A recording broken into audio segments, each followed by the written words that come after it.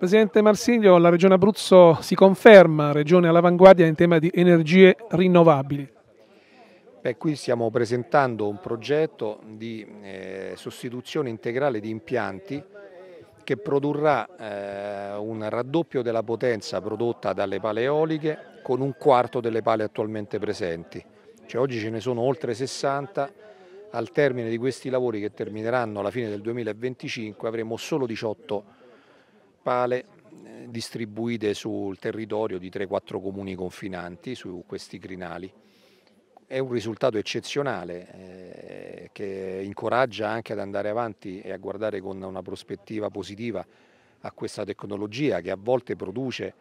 anche delle controindicazioni, dei conflitti, eh, c'è sempre il delicato equilibrio ambientale, paesaggistico da tenere presente e non sempre la realizzazione di questi impianti incontra il favore delle popolazioni e delle amministrazioni locali. Qui abbiamo trovato un esempio molto virtuoso di collaborazione molto costruttiva dall'impresa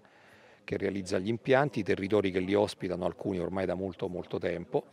e che eh, hanno tratto beneficio da questi insediamenti nel passato ed oggi guardano con ancora maggiore eh, fiducia e prospettiva per il futuro proprio perché appunto avendo fatto questo impianto, questo lavoro di sostituzione noi realizziamo un incremento importante, un raddoppio della potenza di energia elettrica prodotta che ha un equivalente di quasi 50.000 utenze servite con un quarto circa delle, degli impianti esistenti, c'è anche un netto miglioramento dal punto di vista paesaggistico ambientale, restituzione di parti di territorio alla, alla, alla cittadinanza, ai comuni e un passo in avanti significativo verso il raggiungimento degli obiettivi che ci vengono dati di produzione di energia da fonti rinnovabili che sono molto sfidanti e per i quali è importante individuare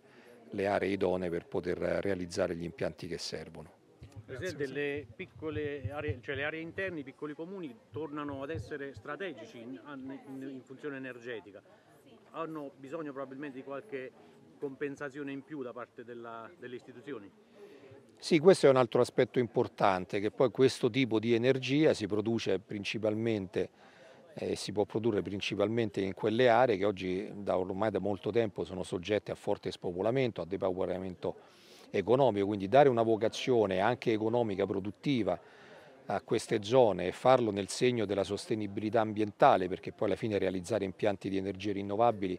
questo significa in un'epoca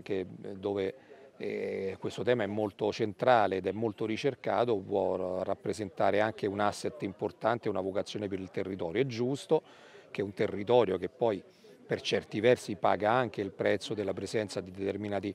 impianti ci sia una giusta, una giusta compensazione, un giusto equilibrio tra ciò che offrono e ciò che possono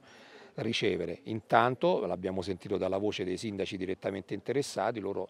accolgono con favore, avendo avuto già questa esperienza in passato, il fatto che nell'anno e mezzo circa di lavori qui ci saranno operai, maestranze eh, che soggiorneranno, mangeranno, vivranno sul territorio, insomma si ricrea anche una vitalità e un certo movimento economico sul territorio. E poi appunto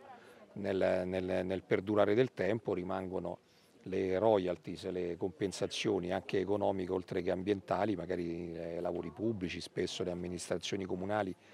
scambiano appunto la disponibilità e le autorizzazioni a un intervento per vedersi realizzate quelle opere pubbliche con le proprie poche risorse, stiamo parlando in alcuni casi di comuni che hanno 100 o forse anche meno di 100 abitanti e quindi le risorse proprie sono davvero minimali. Queste opportunità, queste occasioni possono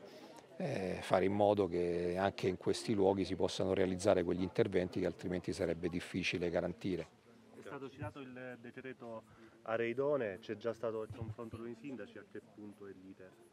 L'iter è avviato, la Regione per eh, l'istruttoria è in mano al consigliere delegato Campitelli che sta eh, procedendo appunto alla istruttoria di tutto questo iter. Dobbiamo terminare entro il 31 dicembre, entro la fine dell'anno. Io confido nel fatto che questo percorso si completerà e che la Regione potrà produrre, come la legge prescrive, un piano delle aree idonee che consenta poi di avere anche certezza su dove gli impianti possono essere